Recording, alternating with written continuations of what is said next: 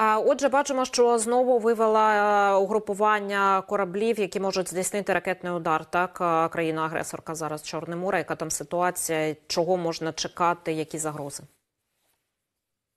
Е, Так, ми усвідомлюємо, що вони час від часу беруть такі тайм-аути, заводять кораблі в пункти базування для того, щоб перезарядитися, і потім знову виводять їх на службу. Знаємо і бачимо, що вони дотримуються приблизно орієнтовного інтервалу 7-10 днів для нанесення таких масованих ракетних ударів. Зокрема, зрозуміло, що їм теж потрібен час на підготовку, і е, нагадаю, що масований ракетний удар вони, як правило, здійснюють разом і використовуючи стратегічну авіацію, і використовуючи ракети морського базування. Таким чином, повернення на службу в відкрите море ракетоносія може свідчити про те, що така підготовка закінчилась, і це певний сигнал для того, що будуть через час застосовані е, ракетні масовані ракетні удари.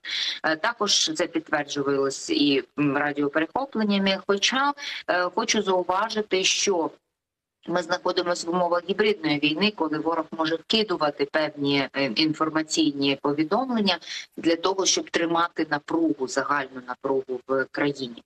Е, Так само і зараз ми усвідомлюємо, що вони продовжуватимуть е, техногенний шантаж і продовжують е, атаки на об'єкти інфраструктури. Ми бачили, що вони атакували Дніпро, бачили, що вони намагаються атакувати і інші об'єкти. Крім того, піднімаючи повітря авіацію, намагаються виснажити нашу протиповітряну оборону. Е, Саме тому ми знову знову звертаємось з повідомленням про те, що не слід повідомляти про готовність або спрацювання протиповітряної оборони до офіційних повідомлень, коли ми знаємо, коли це можна повідомити, і доречно. Те, що наші люди вже вміють на слух розлічати приліт або роботу ППО, це ознаки війни, і це наша майстерність, і в принципі вміння е, розподіляти правильне з неправильним, і треба тільки зрозуміти, втримати це до тих пір, поки можна буде повідомити. А так, пані Наталя, до речі, було повідомлення також про те, що дуже багато носіїв калібрів у Середземному морі зараз Росія утримує. А навіщо вони там це роблять? Чи можуть вони звідти завдавати удару, чи якось ці кораблі потрапити у Чорне море зараз? Е, Потрапити в Чорне море ці кораблі, сподіваємось, не зможуть, оскільки є міжнародна домовленість і гарантії, і забезпечення їх, е, зокрема з боку Туреччини, з того в тому сенсі, що вони не можуть не зможуть пройти про- проливом е, через і пройти потрапити в Чорне море, так як і було нап- напередодні, коли вони тримали тримали ракетоносії і прибрали їх. Все ж таки. Ну, це зв'язок.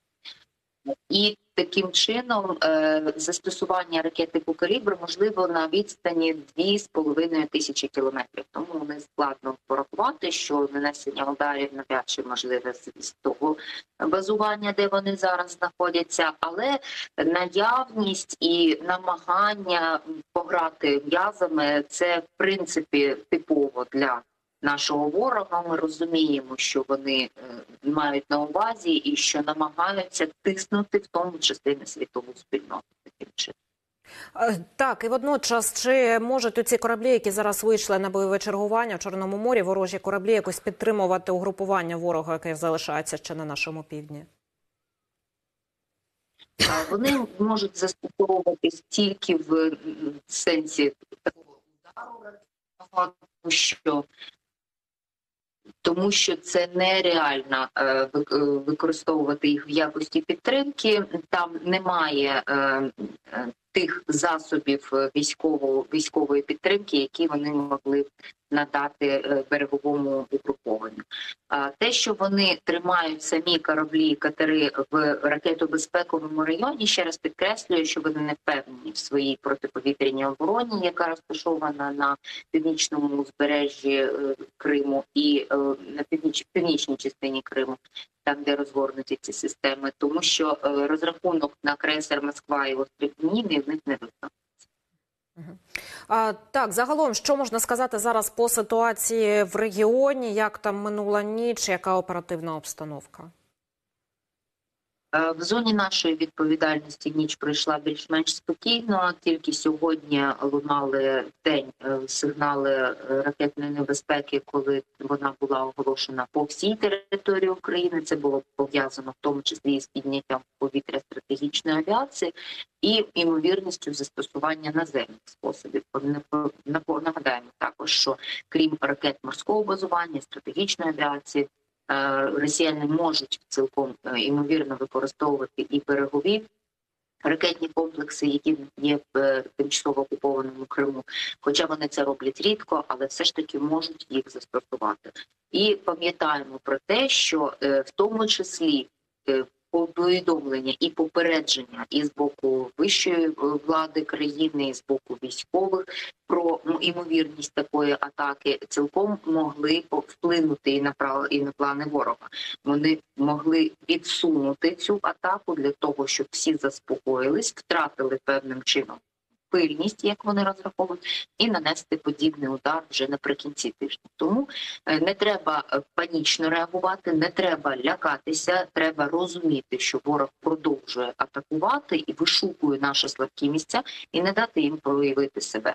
Тому готові завжди чуємо сигнали, реагуємо правильно.